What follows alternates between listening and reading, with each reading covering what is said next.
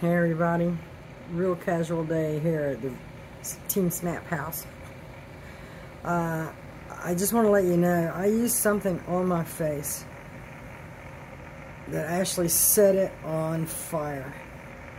I had black lines under my eyes, which I still do, but it was just stinging and stinging and stinging, and I had to go just wash my face repeatedly with with Pond's. That calmed it down for a little while.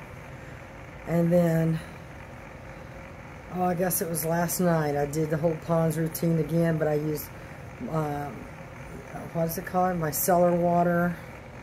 And then I put witch hazel here to calm the inflammation.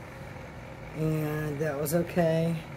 And then my forehead started stinging, which I didn't use witch hazel on my forehead. Um, but it was just just stinging so bad. And so the only thing I found that I had that could calm that down was a soothing cream from Avon.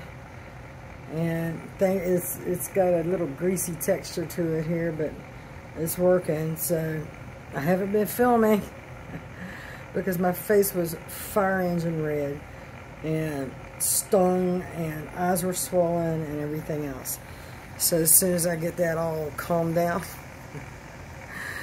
I'll be back.